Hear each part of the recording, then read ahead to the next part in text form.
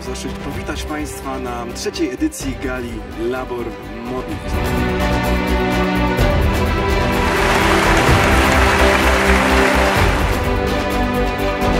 Uczestniczymy dzisiaj w wydarzeniu, które 3-4 lata temu nie mieściło nam się w głowach.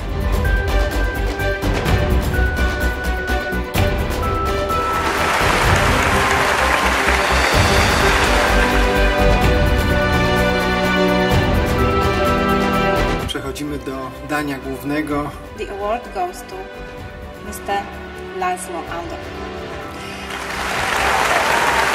Mr. Laszlo Andor, the winner of Labor Mobilis 2015 awards.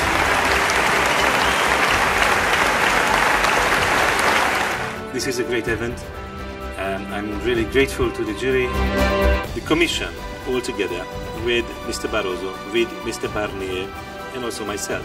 We were committed to uh, develop further the single market.